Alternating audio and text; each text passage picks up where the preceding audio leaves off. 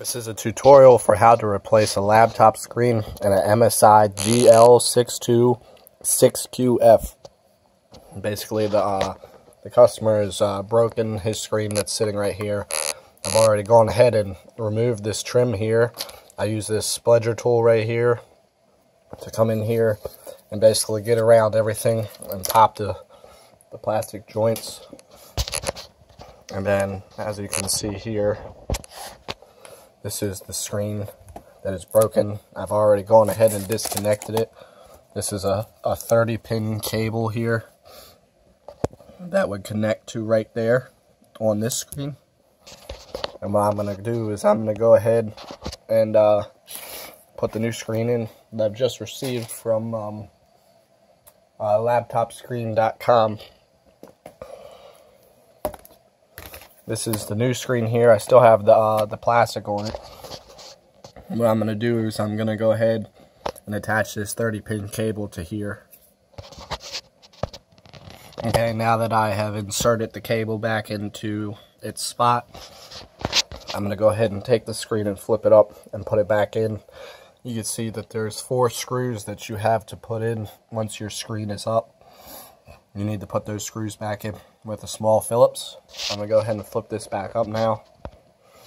With the screen back up now, you can see that these are the spots I'm speaking of that the screws go.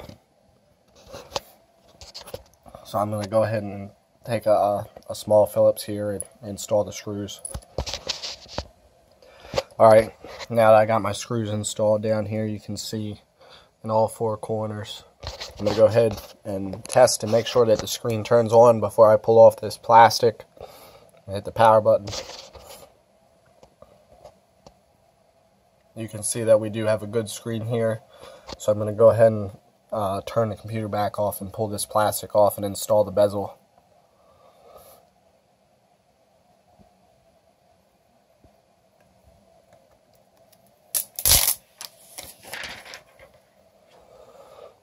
Make sure she turns off. Okay. This is the bezel here. Goes around that. You'll make sure that you put it back into place properly. Then you can go ahead and just start snapping it in. Now this is a pretty uh, small screen. This is one of the newer laptops that have a very thin screen to it. So you definitely want to make sure that you got everything snapped in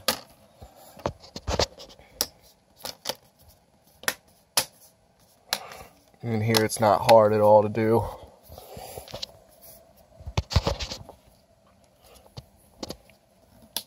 Basically, this screen broke from a customer closing his uh, AC power cord in the actual screen in between the keyboard. I'm going to go ahead and snap this last bit together.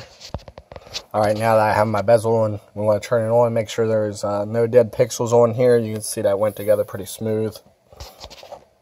It was a pretty easy uh, job, even uh, with this assembly, especially with having one of these plastic splitters here. I got a nice pick on the other side.